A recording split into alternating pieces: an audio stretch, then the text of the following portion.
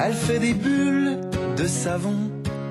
En guise d'accueil, des bulles et une odeur flatteuse. Nous sommes bel et bien dans une savonnerie assez particulière. Ici, chaque savon est fabriqué artisanalement avec des ingrédients naturels, de l'huile d'olive, du beurre de karité pour l'hydratation, du beurre de coco pour la mousse et bien plus surprenant, de la soude caustique, pourtant réputée pour être dangereuse. La soude caustique va travailler et va s'évaporer complètement en même temps que l'eau. Et donc, ah oui, c'est assez caustique. Hein. dans un mois, il n'y aura plus ni eau, ni beurre, ni huile, ni soude. Il y aura uniquement du savon et de la glycérine. C'est comme ça que faisaient les anciens. C'est comme ça que faisaient les anciens. Temps de séchage compris, il faut donc un mois pour fabriquer un savon.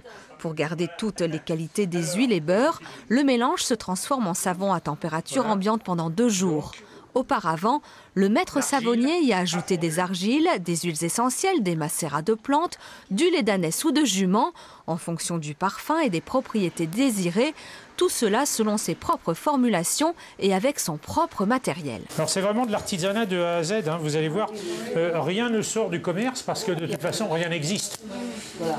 Rien n'existe, donc on fait tout nous-mêmes. Quand on a besoin de quelque chose, eh ben, on réfléchit comment, soit comment on peut s'en passer, soit comment on peut le faire. Loin des graisses animales et des additifs chimiques de savons industriels, ce produit artisanal présente aussi certaines propriétés attractives pour des personnes avec des problèmes de peau. Ma maman faisait du savon dans le temps. Je ne me rappelle même plus euh, comment elle fabriquait, mais c'est merveilleux de voir des, artisans qui font quelque chose pour notre bien. Parce que moi j'ai une peau très fragile, eh ben, je vais l'essayer sans savon. C'est des métiers qu'on vit, c'est des...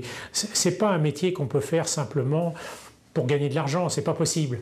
Donc il faut être passionné, il faut avoir vraiment envie. C'est une alchimie, c'est de la cuisine, c'est quelque chose qui est absolument passionnant à faire. Le maître savonnier utilise des ingrédients bio, éthiques et aussi locaux, de l'huile de tournesol de Nexon, le miel de ses abeilles et les châtaignes de son jardin.